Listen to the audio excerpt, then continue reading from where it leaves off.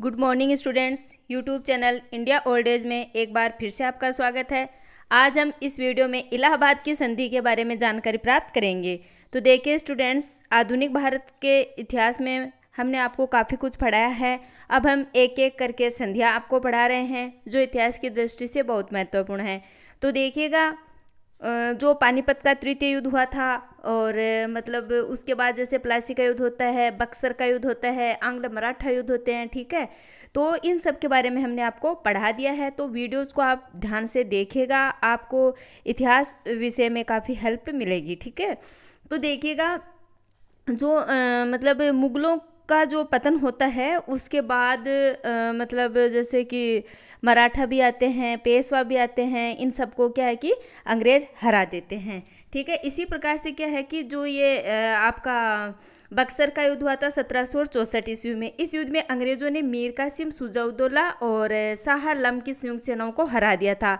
तो देखिएगा बक्सर का जो युद्ध है, इसमें अंग्रेज़ों की विजय होती है और इससे अंग्रेज़ों अंग्रेज़ों की विजय को मतलब ऐसे मान सकते हैं कि उन्होंने बंगाल पर नियंत्रण स्थापित कर लिया था। ठीक है? यदि प्लासी की वजह से भारत में अंग्रेज़ी शासन की नींव पड़ी तो बक्सर की वजह से मतलब वह नींव दृढ़ हो गई थी। ठीक है? और बक्सर का युद्ध है, इसने अंग्रेज़ अंग्रेज़ों बक्सर के युद्ध में अंग्रेज़ों ने बंगाल के नवाब मीर कासिम अवध के नवाब सुजाउद्दौला और मुगल सम्राट शाहलम की संयुक्त सेनाओं को हराया था और सत्रह सौ पैंसठ में दोनों पक्षों में संधि हुई थी और यही संधि इलाहाबाद की संधि थी और इस संधि से अंग्रेज़ों के जो व्यापारिक क्षेत्र थे उसका आ, मतलब उनका विस्तार हुआ और अंग्रेज़ों के विरोधियों को शरण मिलने के स्थान कम हो गए और मतलब शुद्ध आर्थिक लाभ के रूप में बंगाल, बिहार, उड़ीसा की जो दीवानी है वह वसूल करने का अधिकार इनको मिल गया था, ठीक है?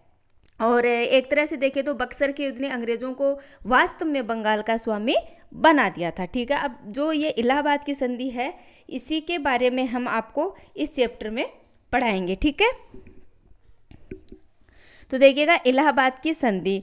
तो सत्रह सौ पैंसठ ईस्वी में अवध के नवाब सुजाउद्दौला और अंग्रेज़ों के बीच एक संधि हुई और इसे ही इलाहाबाद की संधि कहते हैं। और वैसे देखें तो मतलब आपका जो ये था मुगल सम्राट शाह आलम द्वितीय इसके और अंग्रेज़ों के बीच में भी यही इलाहाबाद की संधि होती है। इनकी जो शर्तें हैं वो अलग अलग हमने आपको बताई हैं। तो सबसे पहले है मतलब इलाहाबाद की जो संधि है, इसके अनुसार सुजाउद्दौला जो अवध का नवाब था सुजाउद्दौला इसको कौन कौन सी शर्तें स्वीकार करनी पड़ी वो देखिएगा।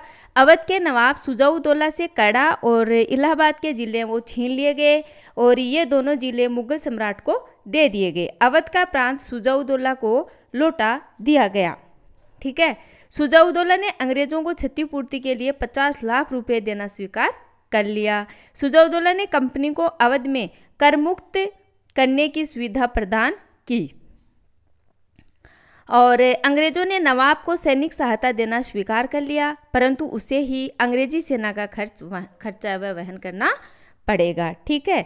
तो ये तो थी मतलब इलाहाबाद की संधि, जो अंग्रेज़ों और सुजाउद्दौला के मध्य हुई थी। इसकी शर्तें, और अब आता है कि जो सत्रह सौ पैंसठ में मुगल सम्राट शाह आलम सेकेंड और अंग्रेज़ों के बीच जो इलाहाबाद की संधि हुई, उसकी क्या क्या शर्तें थी? इलाहाबाद की संधि, जो मतलब शाह आलम द्वितीय और जो अंग्रेज़ हैं, इनके बीच जो हुई और इसमें शाह आलम सेकंड को क्या शर्तें स्वीकार करनी पड़ी? तो अवध के नवाब सुजाउद्दौला से कड़ा और इलाहाबाद के ज़िलों को लेकर मुगल सम्राट शाह आलम को दे दिए गए, ठीक है?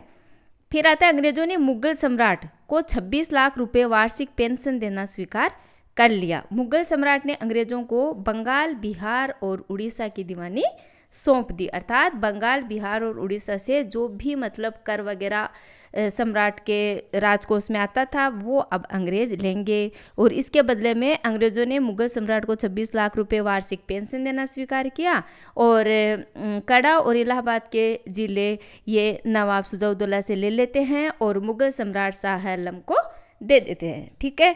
तो ये थी आपकी इलाहाबाद की संधि। तो देखिएगा स्टूडेंट्स कई बार क्या है कि इन संधियों के बारे में पूछ लेते हैं, अपन लोग कंफ्यूज हो जाते हैं। तो वीडियोज़ यदि आप लोग बार बार देखेंगे, समझेंगे, एक दूसरे को आप कनेक्ट करेंगे तो आपके मतलब ऐसी कोई प्रॉब्लम नहीं आएगी।